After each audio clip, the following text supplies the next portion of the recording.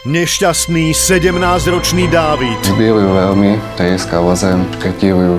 Agresor alebo obeď. Zabil si tyrana. Bohužiaľ. On si to väzenie už dávno užil od detstva. Bitky dennodenne. Bojím sa tej vlastnej budúcnosti. Láska Kristýny a Patrika silnejšia než choroba. Ďakujem ti, že si pri mne stal.